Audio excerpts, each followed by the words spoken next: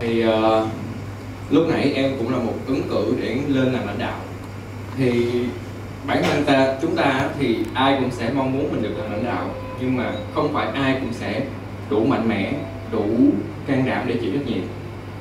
Và thực sự người lãnh đạo khi mà mình ở dưới là nhân viên mình nhìn lên người lãnh đạo mình thấy là à họ quyền có quyền có tiền có có nhiều thứ nhưng mà họ sẽ không biết được rằng là nhân lãnh phải chịu rất nhiều thứ, áp lực phải chịu trách nhiệm, phải đối mặt với rất nhiều rủi ro do chính chính nhân viên mình tạo ra.